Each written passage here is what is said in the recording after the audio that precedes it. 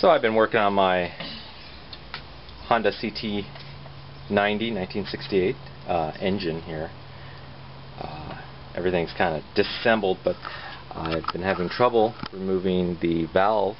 I got one out, but I still need to. They're they're looking pretty grody, but I don't have a valve spring compressor, and I uh, looked online for one, and they range from 30 to 61 dollars which I don't really want to spend. So this is a small engine. I figured I could do it myself. I have to compress the springs and back here. And I figured I could just invent one all by myself. So I'll tell you what I came up with and maybe you could use this yourself.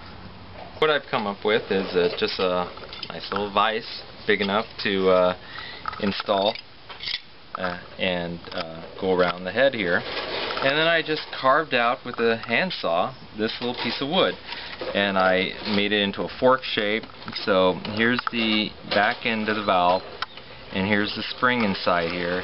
And just enough to straddle um, uh, the top of the spring to compress.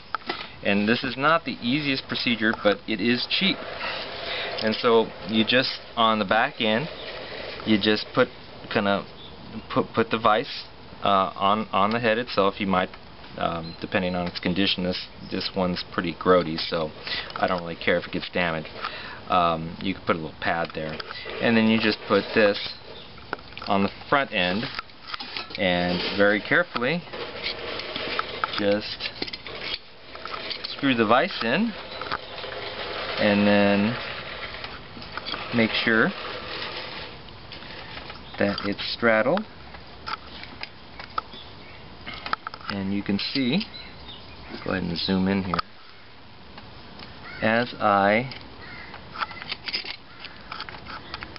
screw it is compressing the spring.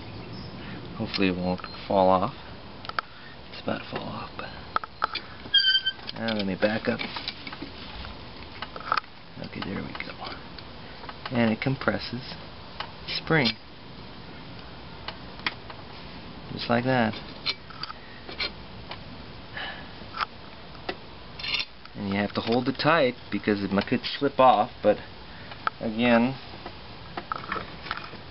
it's cheap. And I just have a magnet here. Take out the little braces. I can get this back one take out the braces.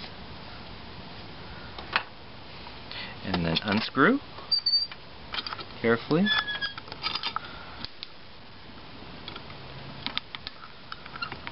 And then it comes all the way out. And then there is the valve. There you go my homemade valve screw valve spring compressor Thank you very much. I filmed.